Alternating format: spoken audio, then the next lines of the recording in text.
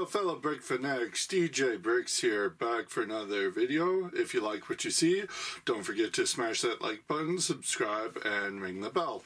I am taking a look at a 2022 LEGO Jurassic World set based off of the installment that came out last year, Dominion. It is the Dinosaur Market. It is set number 30390.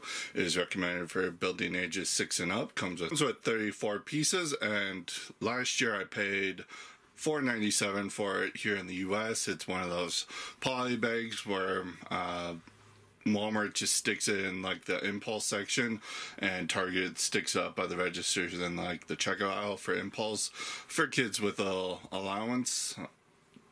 So let's take a closer look at this set and see how it stacks up, starting as always with the minifigures. For the main figure for this set, we get a generic guard, uh, pretty much made up of existing parts. Uh, the most interesting of which is uh, that one by one in trans orange that has the mosquito and amber.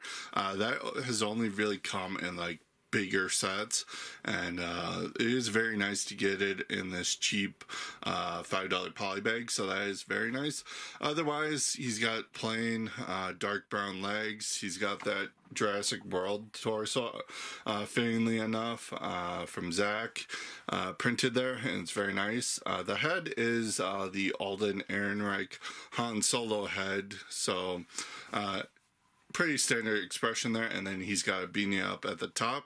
Flipping the figure onto the back, we can see he has some very nice back torso printing, uh, hoodie and all, a little bit of wrinkles, and uh, if you're not familiar with that overused uh, young Han Solo head, it does have an alternate expression uh, where the face is more aggressive.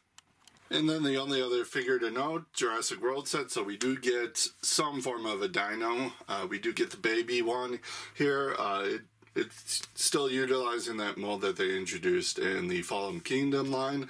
Uh, and quite funnily enough, uh, this is the exact same print that was introduced back in that subline. Uh, they just reused it here, which is fine because that one hasn't really appeared in too much sets, and it does effectively look like a little baby dinosaur. Uh, this one's, I guess, supposed to be the raptor like it was back in uh, in the Fallen Kingdom line.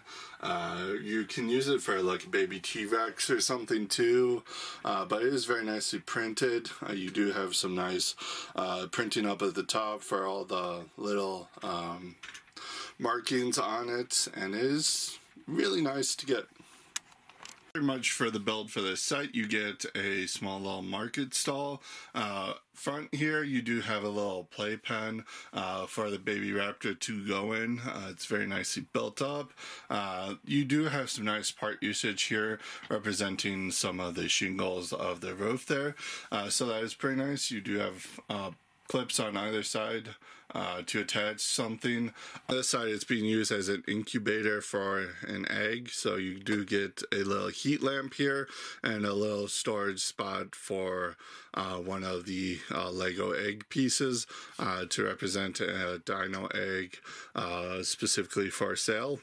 Uh, you do have this, flipping around, you do have this nice little stall area where I guess you can put uh, the minifigure behind there, uh, make it look like he's uh, selling from there. But uh, I don't know how you sell in front of the dino, uh, but you can play with it like that. But again, small little impulse polybag so not much here. So for extra pieces for the set, you get two whole studs and they're in two different colors. For the instructions, you just get one single leaflet printed front and back with the build.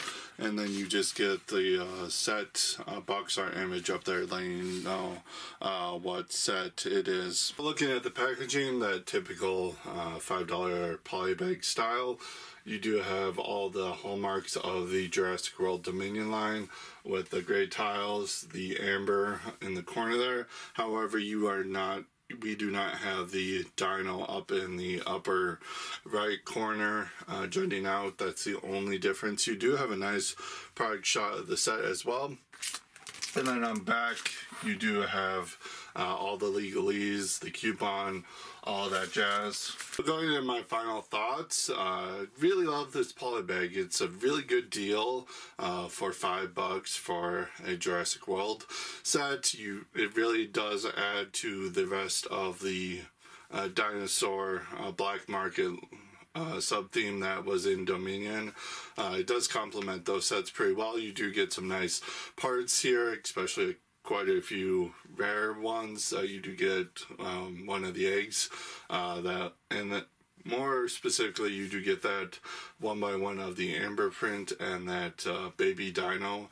Uh, those two uh, don't really appear that much in sets and it's good to get them in a cheap little set here so all in all this set does get a solid 5 out of 5 for me uh, comment below. I want to know your thoughts on the set. Uh, until next time stack on